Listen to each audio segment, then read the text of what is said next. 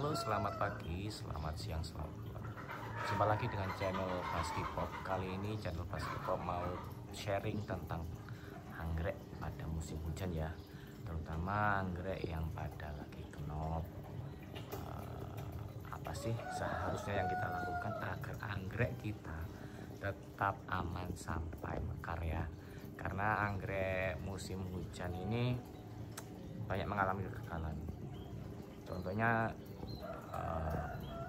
salah satu anggrek saya ini ya kemarin itu uh, banyak kenop terus rontok gitu ya. Memang karena hujan. Jadi langsung saja kita cek-cek uh, untuk situasi anggrek saya yang sekarang ya. Contohnya yang seperti ini. Ini, ini adalah anggrek katelia saya. Anggrek katelia saya kemarin itu kenop ada dua di sini. Dan satunya ini gagal gagal mekar ya. Tapi alhamdulillah masih sisa satu tapi saya biarkan aja hujan-hujanan ya karena hari mulai beberapa hari ini setiap hari hujan. Untuk medianya pastikan basah potnya aja masih basah ya. Hmm, masih basah. Tapi semoga ini tinggal satu kenop ini masih bisa bertahan sampai mekar ya lumayan lah ya kalau masih disisahkan daripada gagal semuanya karena ya saya wis pasrah aja sama seleksi alam ya pasti hujan ada kebaikan dan minusnya untuk tanaman. Geser ke sebelahnya sini. Ini katelia saya juga ini baru saya sobek ini. Uh, apanya ini? Amplopnya. Kemarin itu dia masih nutup hanya keluar ujungnya aja. Cuma hujan ya kemasukan ternyata di dalamnya ini kan udah buka sedikit tadi. Awalnya tuh amplopnya masih buka sedikit. Terus akhirnya itu kemasukan air. Nah untuk pengalaman saya kalau kemasukan air akhirnya airnya itu di dalam amplop ngerendam si knop ini. Takutnya gagal seperti yang sebelum-sebelumnya akhirnya amplopnya saya sobek barusan ini oke ya. Nah kemarin kan masih hujan. Uh, untuk nyelamatin uh, si knopnya kemarin saya tutupin pakai plastik. Jadi ini plastiknya barusan saya buka ini plastiknya ya saya pakai plastik ini seperti ini jadi saya sungkupkan seperti ini sampai menutupi si knop lewat daun dari awal daun sini. Ya. saya tutupkan seperti ini. Nah kalau nggak hujan ya kita buka aja biar kena udara. Nanti kalau ke sungkup juga semakin lembab ya. Tapi kalau pas hujan aja nah, kemungkinan kalau saya tahu atau sempat di rumah ya saya tutup tapi kalau sudah nggak hujan seperti ini pagi-pagi seperti ini kan malam kemarin hujannya. Sudah dibuka aja biar nggak terlalu lembab. Kalau terlalu lembab saya juga pernah akhirnya gagal juga. Karena situasinya kan basah dari dinding-dinding plastik itu masih basah ada airnya. Nah kalau kenop disungkup itu malah uh, memperburuk ya. Memperburuk saat dia uh, kayak di steam mungkin. Jadi kayak lembab dalamnya. Mending kita buka. Tadi saya buka. Jadi setelah nggak hujan saya buka kembali biar uh, terkena udara bebas ya. Semoga ini aman. Ya nggak terlalu berharap sih karena hujan. Ini kenapa nggak bisa saya pindahan? Karena ini tiga pot ini. Saya kan ini ada tiga pot. Nah, itu akarnya udah saling tukar menukar tempat. Jadi kalau saya cabut sayang wis seleksi alam aja. Ini cantik ini bunganya pink besar.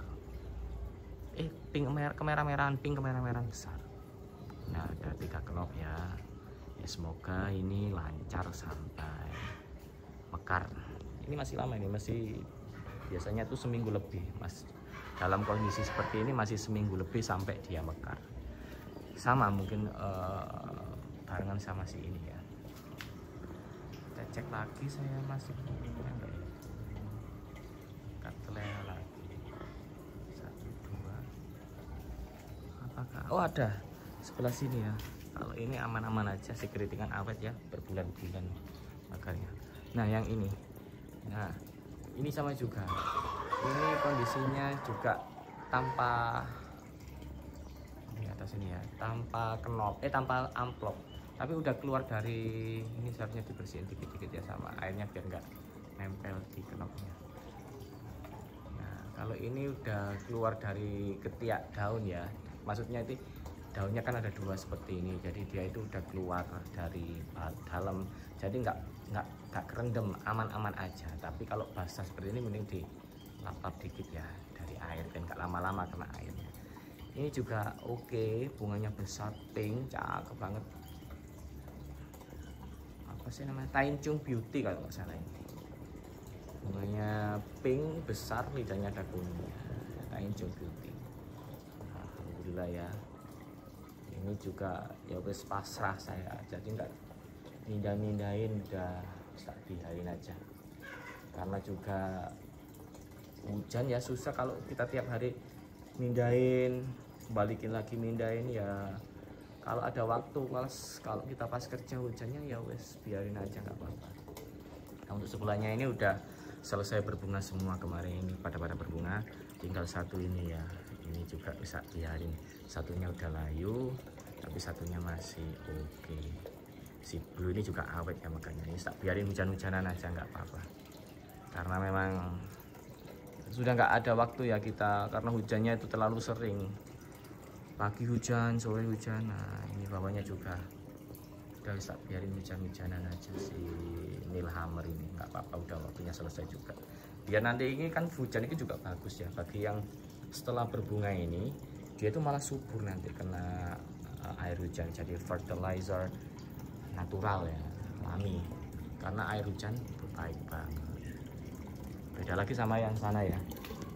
Kalau yang ini memang saya teduhkan karena bunganya cukup banyak cakep dan sayang banget kalau dibiarin uh, hujan. Karena banyak bunganya ini.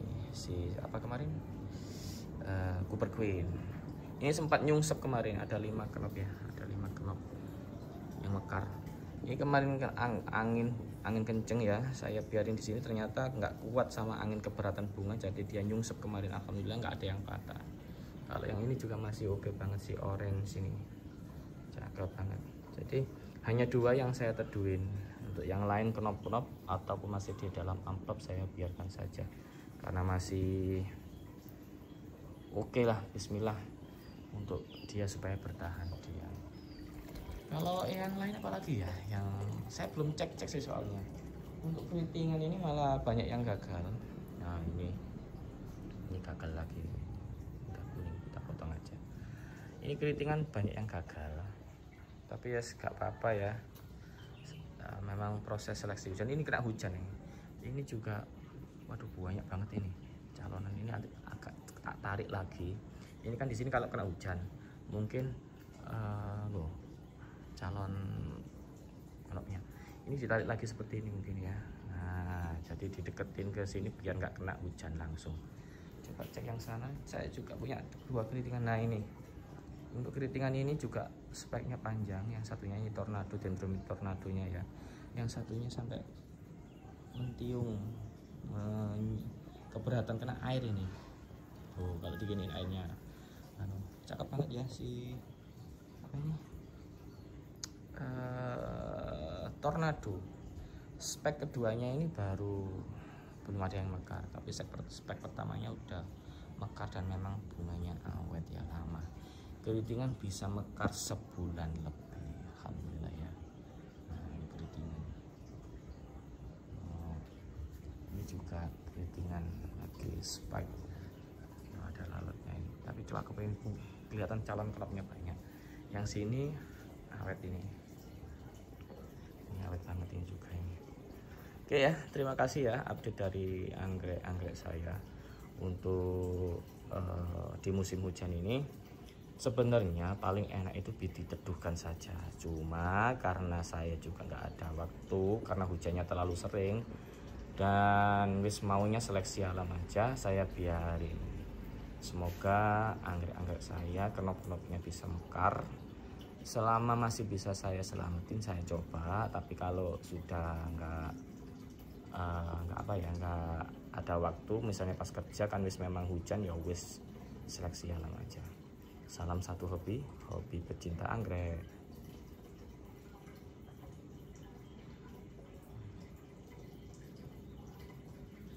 Ya, kalau keritingan mekarnya bisa sebulan lebih. Alhamdulillah. Tahan segala ya